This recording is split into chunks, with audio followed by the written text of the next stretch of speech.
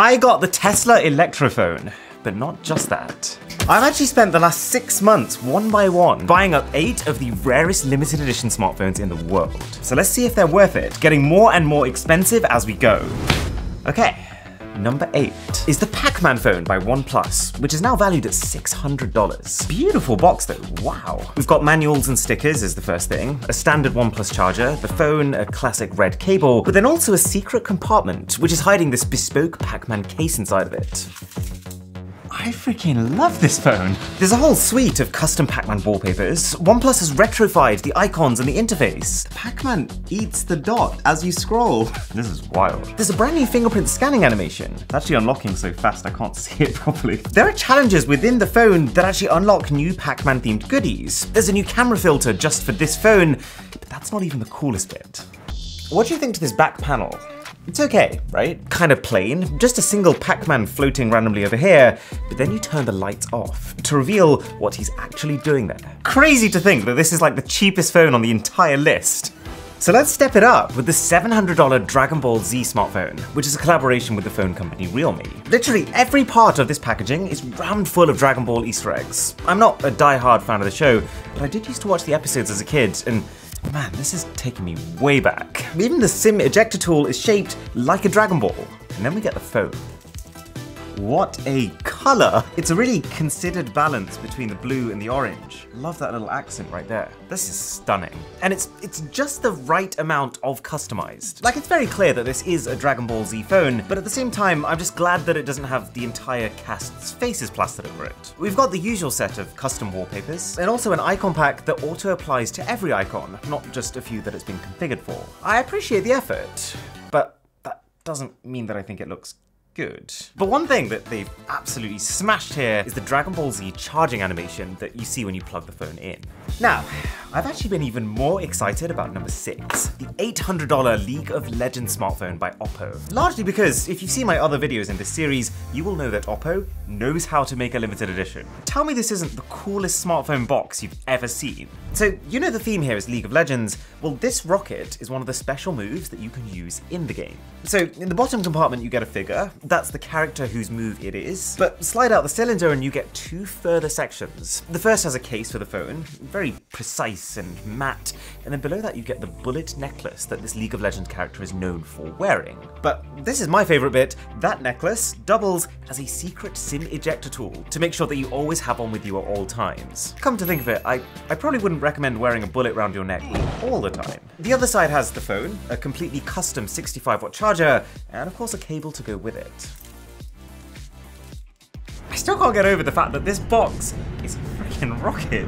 Wow, the buttons. This is so slick. The fact that you have the neon blue and purple around the edges, the textured matte finish in the middle, the League of Legends logo engraved on the side rails, as well as, check this out, the buttons on either side are themed to the color of the side that they're on. This wallpaper is wild. That transition though, oh, these phones get me far too excited. and the Android skin is very heavily customized, maybe too heavily customized. But Oppo has not let me down when it comes to effort. There's an LED ring around the cameras. Very cool very impractical, given that you can't actually see it while you're using the phone, and also that it's barely brighter than the neon edges. Alright, Ramping up further then to number 5. This smartphone, designed by OnePlus, is based off a game that I actually play, Genshin Impact, which has made a bit of a splash because it also happens to be one of the most demanding, beautiful games ever on a mobile. Oh lord. These boxes, they keep getting better and better. There's an envelope, which contains what I'm assuming is codes for in-game items, and a pin badge. Can't say I'll be wearing that one.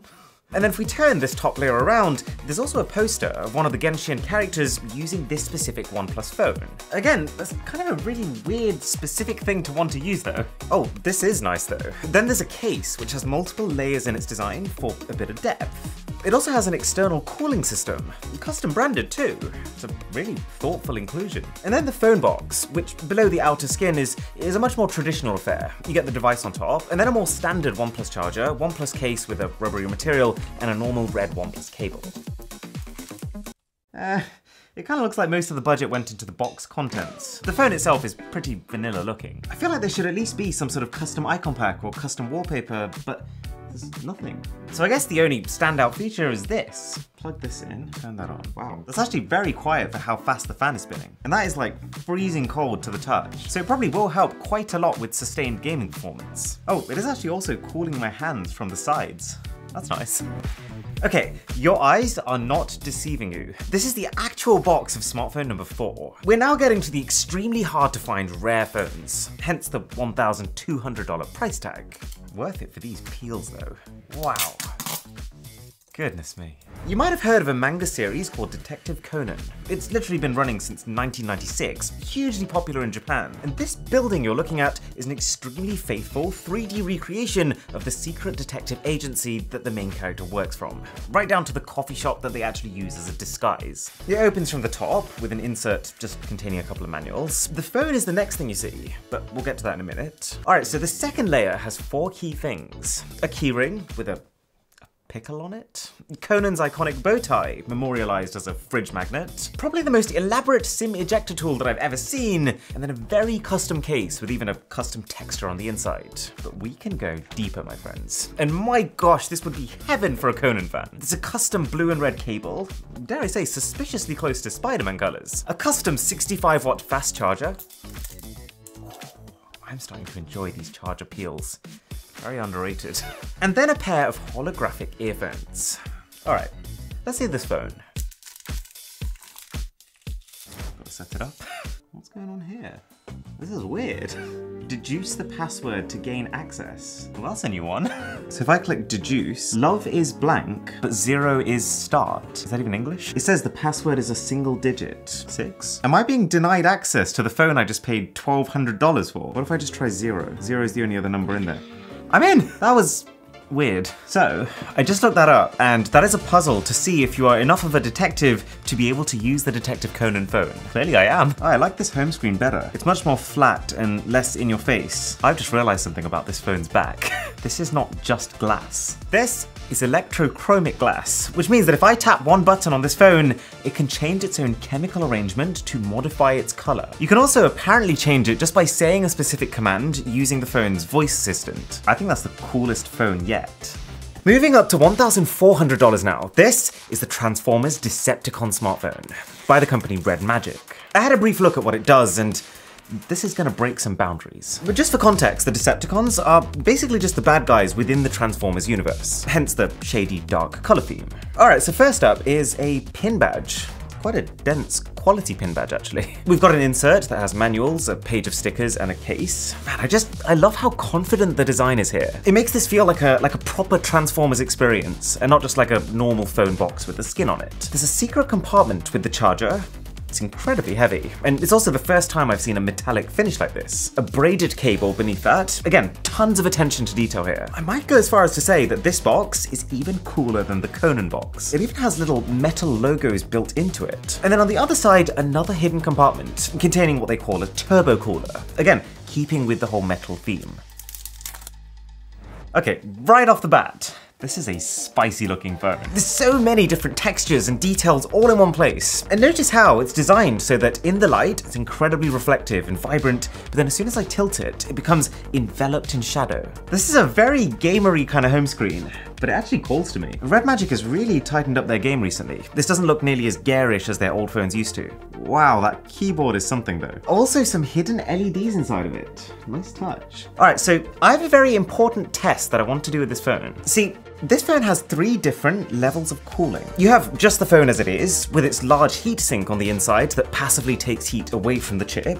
You can dial it up though by turning on the fan on the inside, which apparently spins 20,000 times per minute, which is absolutely nuts. But then we can also pair that with this external cooling attachment, which is apparently using a centrifugal turbofan to achieve refrigeration levels of temperature reduction. So I'm going to run the same performance benchmark at each of these three levels versus Samsung's Galaxy S22 Ultra and let's see how much difference they make. Okay, the Samsung's on the left, the Red Magic is on the right. Let's run that first test without any extra cooling. Whoa, the Red Magic is quite significantly ahead of the Samsung. Okay, internal fan on, let's run that again. You can tell the Transformers phone is running the test even faster. So the score on the Red Magic phone has gone up by about 5%. The score on the Samsung has actually gone down. I'm actually really excited to see what happens now then. Wow, that's such a unit. Wow, the volume of air being pushed out of here is like I could dry my hair with this. Round three, let's hit it. Okay, the gap now is just crazy. Oh my god. The Samsung score is just tanked. Whereas the Transformers phone, again, has gone up. But nonetheless, it goes to show that by using a cooler like this, you can very well sustain your maximum level of performance. Wow, they've added so many camera modes. And there's also a ton of genuinely interesting camera filters here too. All right, let me try and take a selfie with this Cyberpunk one. Look what it's done to my eyes. Okay, but now, at number two, is where the price starts to jump up dramatically. You know how the last phone was $1,400, right? 8,100 is how much this phone costs. And yeah, it's not even the most expensive on this list. So if you are enjoying this video, then a sub to the channel would be priceless. This is the Tesla Electrophone. It's designed by the Caviar Company and apparently infuses the design elements of a Tesla into a smartphone. I always get nervous to do these expensive phone unboxings. They always find a newfangled way of presenting these phones. Caviar Royal Gift. Getting closer and closer. It's even heavier than normal caviar boxes. $8,100. That's eight times the cost of a normal iPhone 13 Pro. Three, two, one. Oh my gosh. That is so, so cool. Normally these hyper expensive phones, they're just too much. They're almost like garish, but this is actually almost tasteful. I'm a big fan of that. Let's see what else we get inside. Whew. So underneath that we have an insert, which has a, a, whole load of things inside of it. So there's the certificate of ownership, there's a international warranty, there's the gift guide, and then what are you? Uh, I'm 99% sure that this is, is literally just a piece taken off a car. Maybe that's our certificate of authenticity. okay, so we also have a charging brick. Okay, just a very standard white power brick. Very standard pair of earpods. Then the cable, which is again, just very, very standard smartphone charging cable. But this is what I want to see. Does it? Where out? That is like two iPhones worth of weight. There's so many different sections here. And every single one has its own elevation and its own texture. Okay, so right in the middle, there's a textured aluminium plate, which is apparently made from an actual melted down Tesla. There's a, a copper insert going through the middle, which represents how it's arguably the most important metal in the construction of an electric car. It's, it's needed for all the wiring. There's these white sections, which are also lightly textured, almost like a carbon fiber type thing. And then all the black stuff is basically just titanium. And there's a reason that you don't see any mainstream titanium phones. It is up to 30 times more expensive than aluminium. But I mean, I recently shot a titanium phone with an air rifle, and it actually bounced the bullet back. So the benefit is that it's extremely strong. Okay, you can see Elon Musk in the top right. Then I think it's a Tesla Cybertruck. Then the logo. Below that I think is a Model S. And then right at the bottom I think is a Tesla Roadster. The fact that it is just a fairly normal iPhone at its core is both a little sad for the tech person inside of me, who would have loved a completely new Tesla operating system to review, but then quite possibly also a benefit for the billionaires actually buying this who already have an iPhone and just want a faff-free, fancier version of it. So this is limited edition number 3 out of 99. Phone number one takes this rarity to a whole new level. We're talking about a phone released back in 2015. A phone that I probably would have given my right arm to own back then and it's even rarer now. Getting this smartphone has basically been an entire year of actively monitoring eBay alerts until someone listed it. And it practically doesn't even exist on the internet anymore. The one I have here is valued at around $12,000 right now, but people have paid up to 91,000 for one of these that had a special serial number. So the first thing you see is a metal decal of Iron Man himself, a message that reads, we are greater than I. I swear, this was one of the best collabs Samsung has ever done. A wireless charging pad meant to resemble Iron Man's heart, which is fitting because that's what's keeping the phone powered up. You got the smartphone, a charger and a cable, just the standard Samsung ones unfortunately. There's a plain-ish case, but it's made to be like that to complement the phone itself, so, you know, I'll forgive it. A pair of standard Samsung earphones. Man, remember when Samsung used to give earphones with all phones? A SIM ejector tool, couple of documents, and then a little card to tell buyers that the film is in cinemas now, as if the five extra tickets they'd sell as a result of this actually meant something. Okay, this one plastic peel is about to cost me about $3,000 in value. Oh my gosh. It's so, it's so light. You kind of forget how light phones used to be. It's like, it's barely there. Let's turn it on. Oh my gosh, this moving parallax wallpaper is so 2015. It's also so fun to see a phone that has different colored borders to just the black that we get on everything now. Funnily enough, the S6 Edge was the first mainstream phone to ever have a curved screen, and Samsung went all in on it. You might know, by the way, that just a couple of weeks ago, I went to see Mr. Beast in America. And while I was with him, he strongly recommended that I watch this show called Death Note. It's free on Netflix, he said. So anyways, I searched high and low for this show, like I was convinced that I was typing it wrong, until I realized it's only available on the US version of Netflix. So, by booting up Surfshark VPN, I was able to change my location from the UK to the US, and all of a sudden access the entire library of US Netflix shows, including Death Note, which I've just finished, and wow. Surfshark costs literally $2.49 a month, which split between the seven people I share it with is 36 cents. And if you hit the link in the description and use the code BOSS, you will get it not just for that $2.49 a month price, but also three extra months for free. Fully refundable if you don't like it.